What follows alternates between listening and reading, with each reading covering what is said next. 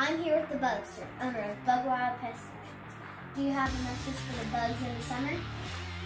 Yeah, I got a message for the bugs, but I also got a message for all my customers. I call them Bugomaniacs.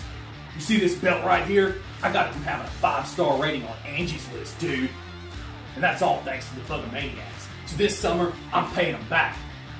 And Bugomaniacs running Bug Wild all over Fort Bend County, Wharton County, Harris County, Montgomery County, Brazoria County.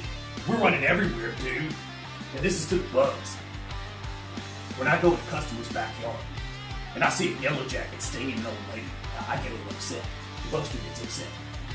And then I, I look to my right and I see a, little kid getting bit by fire ants. And I get even more upset, man. And, and I listen to the sounds of the, the Bugomaniacs on the left chanting, if it crawls, it falls. And then Bugomania starts floating through me. And then I, I listen to the chant of the Bugomaniacs on my right say, if it flies, it dies. I get a, I get even more upset, man.